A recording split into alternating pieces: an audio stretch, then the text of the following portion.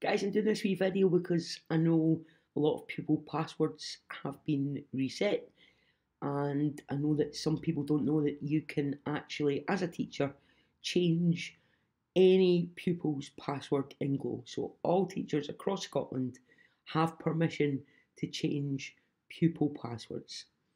So I'm on the launchpad just now in Glow, I've just logged into Glow and you'll notice a menu in the top left hand corner on the black bar selected on the Launchpad screen just now.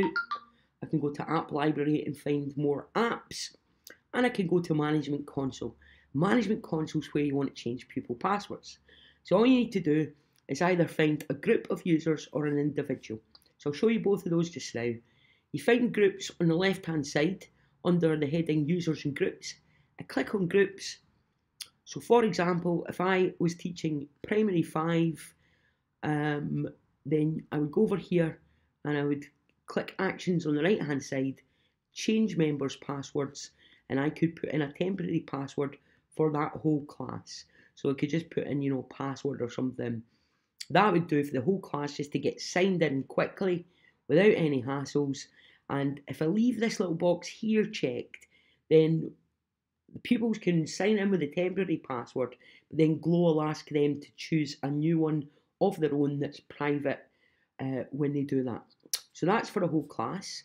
Um, again, under users and groups on the left hand side, if I go to users this time, then I will find all the individual students. So if you just want to fit, change an individual's password, you go to users and then you can find them. Now you can search. So I could search for William, um, hit return, and then I see William Fraser. Go over to actions and change password. Again, if I want the password to be William's password forever, then I would uncheck this box. If I want him for security reasons and privacy reasons to choose his own one again, then I would leave that box checked. So it's important to remember what that box does. Choose a password and then click save. That's it, it's dead easy. So management console and then you just need to find the people whose passwords you want to reset. One thing I have noticed is that SEEMiS hasn't updated um, all the groups yet for 2018-19, so they're still on the groups from last year, but these will be updated soon.